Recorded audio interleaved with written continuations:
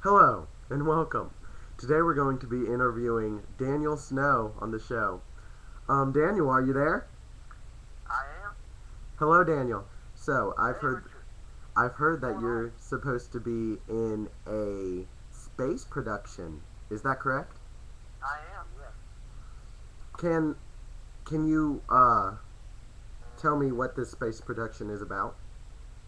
Um. Well, it's um. It's the story of this uh, captain, and he's got some space cadets and a robot on the ship, and um, we're going to be flying. We have to fly on a training mission, but some things happen, and the ship gets lost. So. Oh, that's so That's not good. Lost in space. Well, um, uh, I've I've heard that you've already completed uh, part one, two, and three of this show. Is that correct? that is correct. Part four will be tonight, and tomorrow night will be part five. What? When does this show start tonight?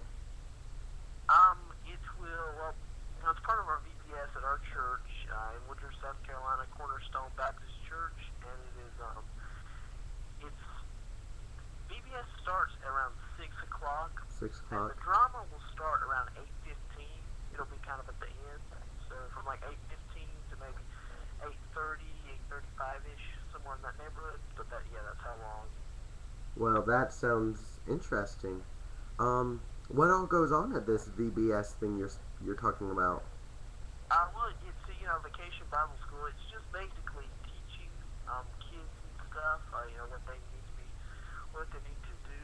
Um, you know, like to be more like Christ and uh, different. You know, different stuff uh, like that. It's um, it's also you know got some games and we feed them and um, you know just all kinds of different stuff like that.